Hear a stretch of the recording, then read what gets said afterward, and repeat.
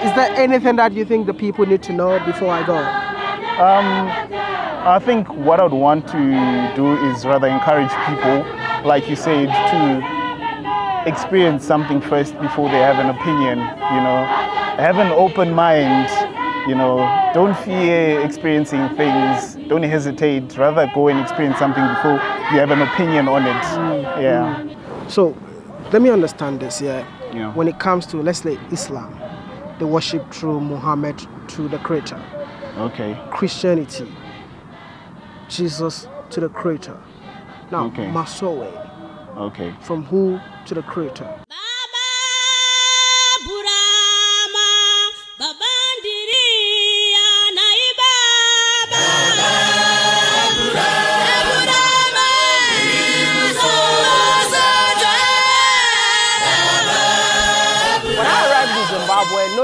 This church was originated from this country, I wanted to experience it for the first time. I spoke to so many friends that I have in this beautiful country, and most of them condemn the church. I really got curious, and I wanted to do my own research about this church. The first thing that I found, it's an African indigenous church that worships in an open space, which where I'm coming from, I've never seen anything like that. Who is the founder of the most popular and controversial church in Zimbabwe? Shoniwa Mutunyani. Born in Zimbabwe and died in Zambia. He is popularly known as Johane Masowe. And you know what that means? John of the wilderness and John the Baptist. Masowe was a movement that was founded in the year 1930s. So to me, it's not a church, but.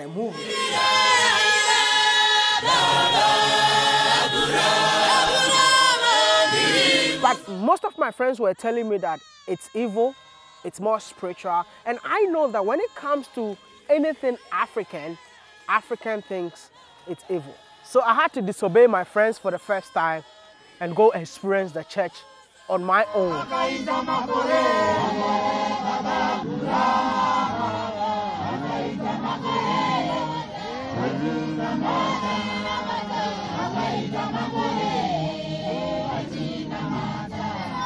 I don't know how many times I need to tell you all that traveling is the best university in the whole world. If I knew this earlier, I wouldn't have gone to the university. But yeah, it's okay. I'm having another degree along my journey. Today is Sunday. Let me tell you something.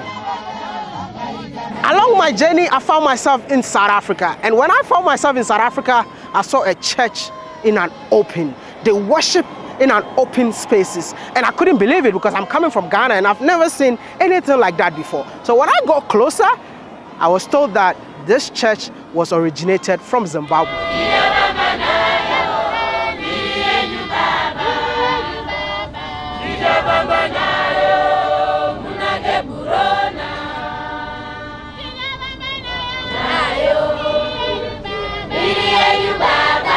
I'm in Zimbabwe, you know how I always do it. I always travel to learn. So I'm here to learn. I'm just gonna immerse myself in whatever they do here. And I believe that I'm gonna educate myself and educate you too. Don't forget to like this video, subscribe, and be part of this YouTube channel. My name is Wode Maya. Come along with me. I am Maya. I hope you have not been waiting for me for so long. Uh, not, not even. I was looking forward to it. How are you, Maya? I'm good. Good to see you. Good to see you too. Finally. Yeah, Today is Sunday. it's a, your day to worship. Thank you. Okay, so as part of our doctrine, Okay. if uh, for as long as you're part of this church, you're required to put on this garment. Okay. And so I've made an effort to get you one. So let's get to it. Thank you. You- have to help me put it on, Of yeah? Of course, of course. Oh, wow.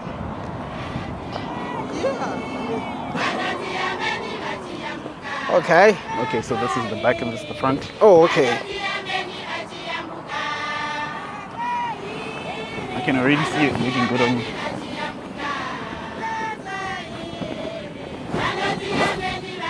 Oh, wow.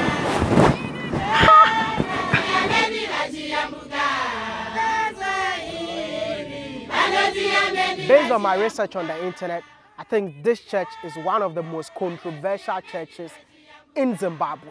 You know why I'm saying this? because this same church got most unanswered questions in Zimbabwe. And that indeed got me curious. It's a must to wear this cloth, right? Yes. For as long as you're part of the church. I, I, I saw one in Durban, South Africa. It was Okay. white, but this one is blue. Yeah, we here at uh, Johane Masowe Echishanu Velvet, Okay. uh, we wear both. So some congregations also use both. Some just stick to white. Okay. Yes. All right, good. So we're gonna walk along or have. s- oh, there, there's yeah, more. Yeah, and this as well. So you just put this on top.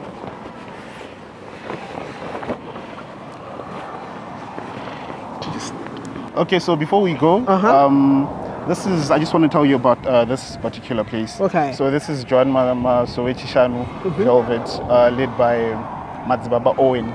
Can you say Madzibaba Owen? Mazbaba Owen. Yes. Okay. He's our prophet here. All right. So welcome, and I hope you have a lovely time. Thank you. You can go and join the others. Thank you so much.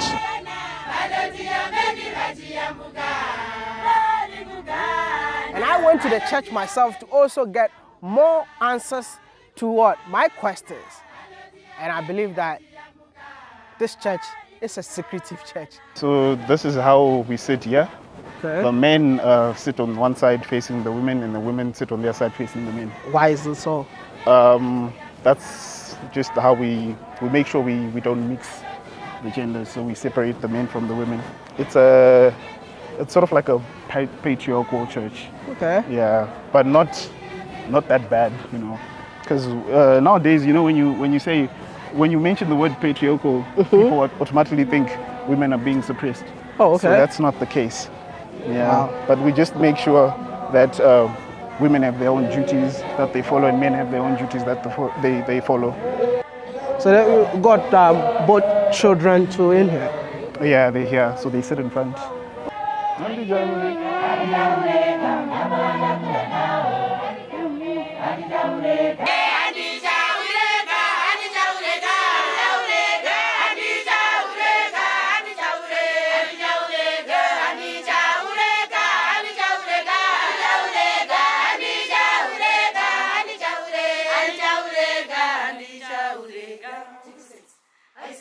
Why do you worship in an open space? Okay, um, with regards to this um, um, church, it, it started way back in 1931 and it sort of like took the roots of how the African people lived back then. So they did not uh, worship in, in indoors and all that.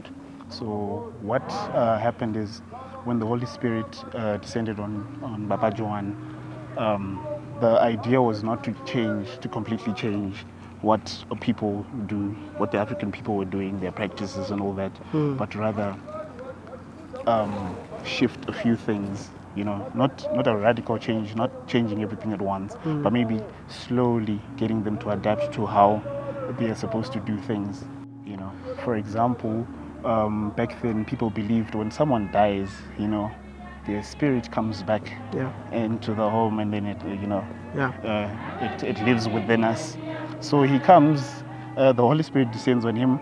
He comes, he says, uh, the Holy Spirit, uh, God likes or is, is uh, God appreciates how the African people are living, but we want to teach them that heaven actually exists.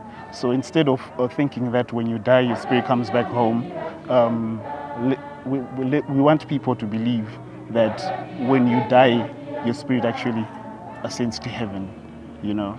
So we sit here. Um, that's how it was always done in the, uh, back then. Okay. And so the idea is we're not changing that, you know. We came from the soil and we'll sit on the soil and we'll go back to the soil. It's more like African spirituality then. It is, it is. Is it like an African spirituality that is modernized? It's. I don't want to call it that because then we're working with the Holy Spirit. Okay. With regards to this church here, what I can say is everything we do is led and guided by the Holy Spirit. Yeah, I don't know if you understand No, what I'm of yeah, course. Yeah. So it's different from African traditional uh, religion in so many ways because they uh, back then, for example, they believed if you want something, you go and pray under a tree or something like that, Yeah. and then you receive what you, you want. And they actually did get what they wanted. Exactly. So now the Holy Spirit comes and says, no, instead of doing that, going to a tree and, and, and praying for what you want, you can kneel down and pray to God and ask God for what you want. And now, since we are led by the Holy Spirit here, there's more like um, a direct communication between, you know, the the people and the Holy Spirit. Because in these churches, every every church, you know, uh, within uh, the John Masowe Church, has a prophet. You know, so I, I I remember you asked me earlier on why there are so many you know churches and Okay. different. So yeah, um, usually what happens is it's a prophet, and then people you know follow the Holy Spirit through that that prophet. You know. Christians pray through Jesus, Muslims pray through Prophet Muhammad. What about Masowe?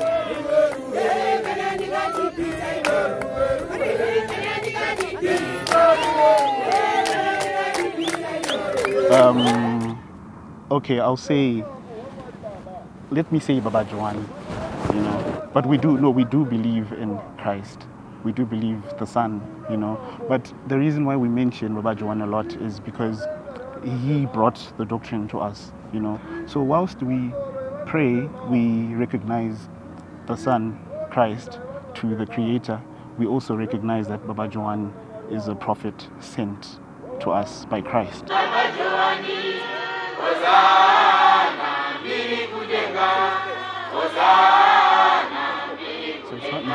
worshipping Baba Johane, but it's recognizing that Baba Johane, you know, brought the doc- uh, doctrine to Doctrines. us. And then so we pray to Christ, to the Creator, yes, but not forgetting who?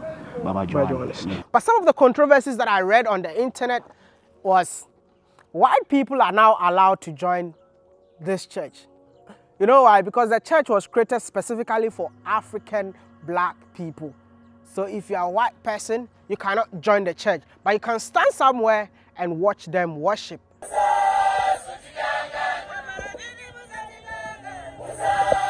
I might be wrong. So if you are a member of Masowe Church, please answer me in the comment section because I want this video to be very engaging.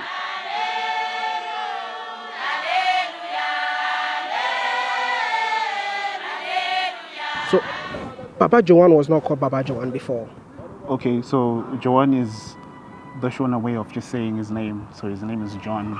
Yeah. Okay. So for example, my name is Kevin Takudza, Kevin or Takudza. So Okay. you can call me Baba Takudza or Baba Kevin. So let's say if I attend a, a church like this, Yes. how are people gonna call me? Is it like uh, see we we have um, Pentecost? He's a Pentecostal. So when you attend a church like this, how are you being called? Okay. So you, you, go, you go to Masowe. Oh, you go to Masowe. Masowe. They call Okay, it Masowe. Masowe. Yeah. All right. So we are Mapostori. He's a Mupostori, you understand. That's what they call him. Listen, when I came in here, I saw no musical instrument, but the voices that are joined together to sing to God.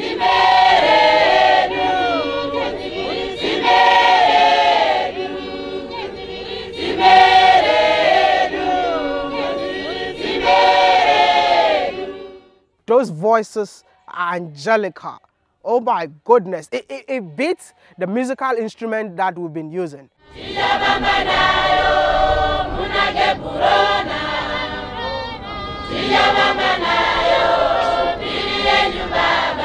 They also don't believe in using the Bible as their main guide.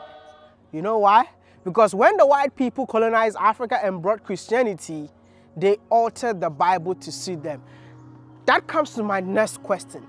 So, this African indigenous church, is it a Christianity church or not? So, which means you follow the teachings of the Holy Spirit. of the Holy Spirit.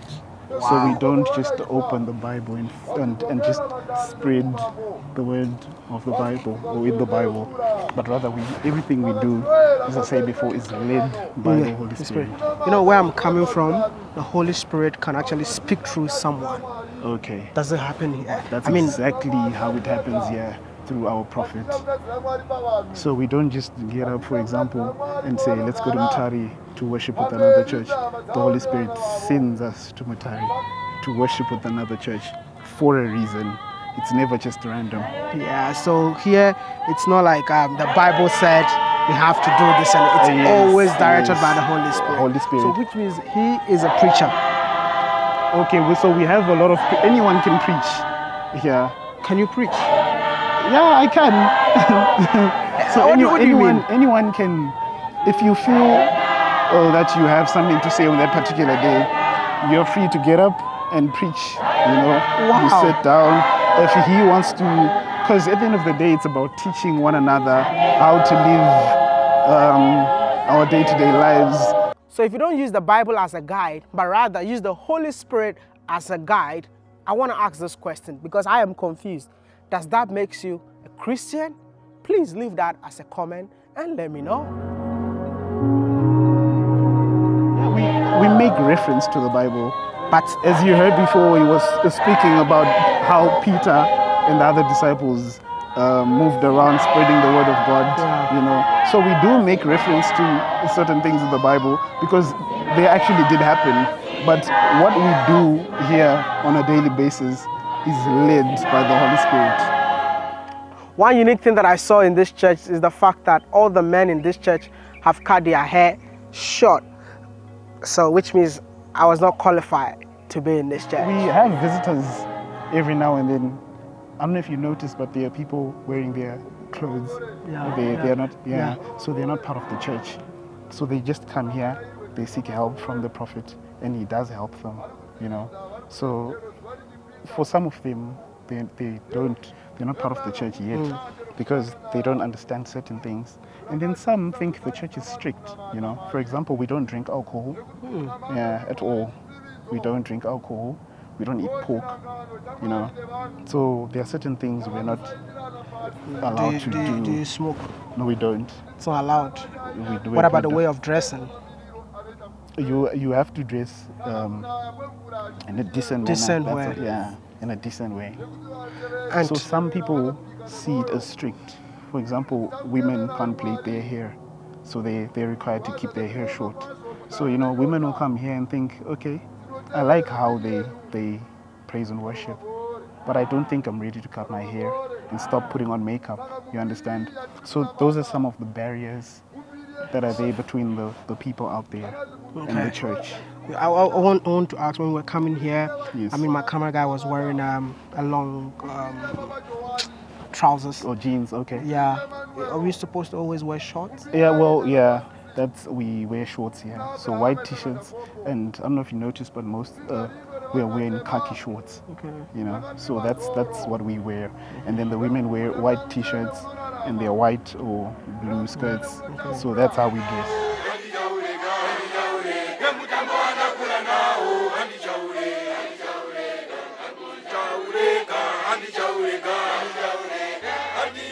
Women need to cover up in the church. Women from this church are not supposed to have makeups on.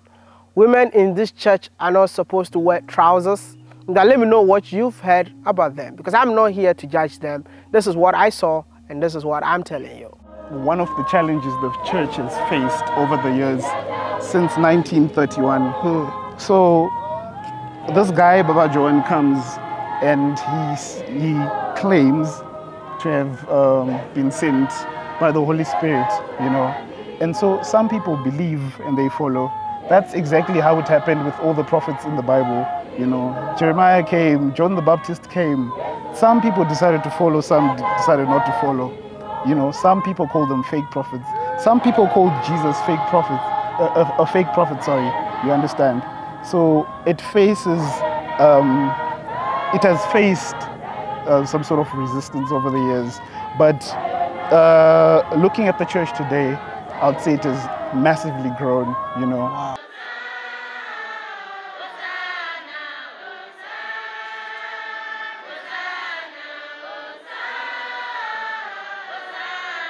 Biggest thing that uh, Christianity is actually facing is offering. Okay. Do you guys give offering in here? We don't we don't take offering. We don't give offering here. we are simply here to follow the Holy Spirit. Where the, the, the Holy Spirit sends us, we go. We, we are here to learn about how to, to live, you know, and help one another go to heaven at the end of the day, you know. Um, if you face a problem, we are more than welcome to help. We help. We are there for one another.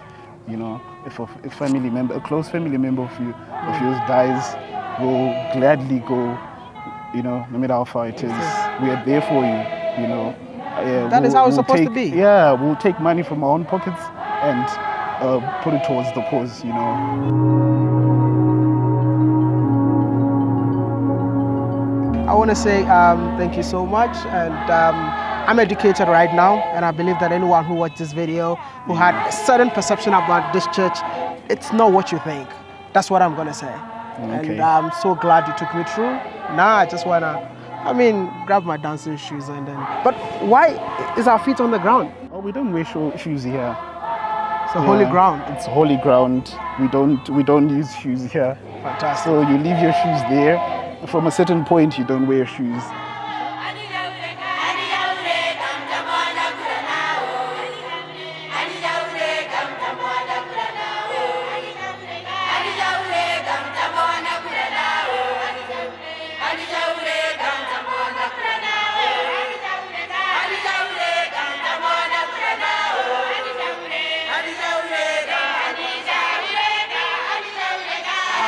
This is one of the most beautiful days in my life.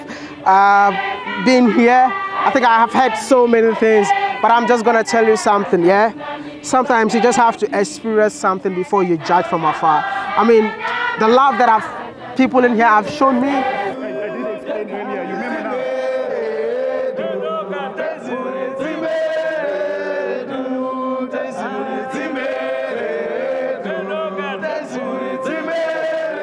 mean, I don't know if you guys saw when I wanted to take a photo. It was just myself. The next thing I saw, I mean, I saw people coming closer. This is the love that we need among ourselves. And this is the love that is missing in so many places that we find ourselves. I just want to let you know that, like, I'm inspired, man. Uh, even the melody itself, it's something that you won't hear it in so many places. This is, there are Yeah, no it's drums. not something you get every day. No, there, there are no drums, no instrument. It's just voices joined together to worship the Lord, man. That's I'm, I'm glad you've enjoyed yourself. That's so beautiful. is there is there anything that you think the people need to know before I go? Um, I think what I'd want to do is rather encourage people, like you said, to experience something first before they have an opinion. You know, have an open mind. You know, don't fear experiencing things. Don't hesitate. Rather go and experience something before you have an opinion on it. Apart from Zimbabwe, I saw Masowe in South Africa and Zambia. Let me know in the comment section, do you have Masowe in your country? I mean, I think my grandmother was Masowe. Uh, I need to ask my mom, but I don't know if the 12 apostles have the same doctrines with the people of Masowe.